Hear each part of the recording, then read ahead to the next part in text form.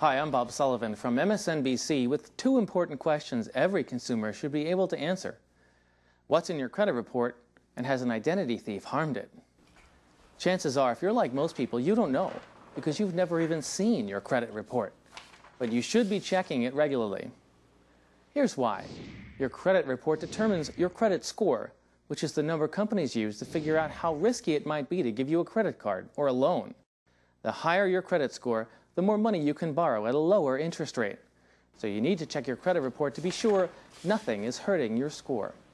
Let me take you inside ID theft for the info you need to find out how an identity thief can damage your credit score.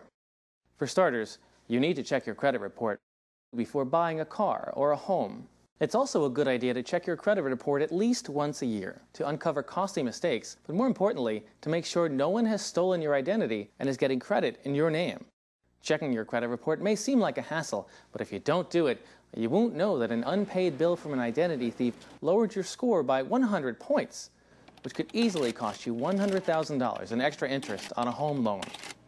The good news is getting your report is easy and it's free. But you have to be careful. Some websites that offer free credit reports may charge you for other services just to get that free report. Only one site truly provides your credit report to you for free. That's annualcreditreport.com. Once you type that name into your browser, you can see your credit history in about five minutes. You'll need your name, of course, and your social security number. Enter that here, and you are on your way. There are three credit reporting bureaus. While the reports are similar, they aren't identical, so you should look at all three.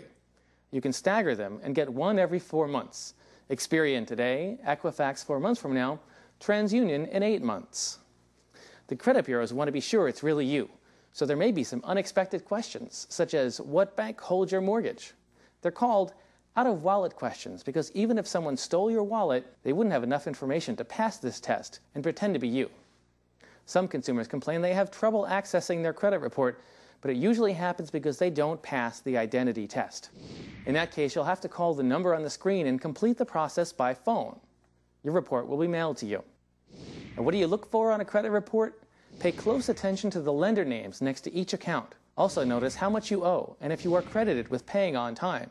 And above all, look for any account that doesn't belong to you or anything else that looks unfamiliar. You'll only get one free shot a year to see this information, so you should print the report and keep it in a secure location, like a locked cabinet. Now you get to see what lenders know about you and your credit history. Scary, huh? But at least now you know.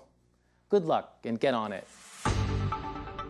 To learn more about ID theft, check all the resources available online at www.insideidtheft.info.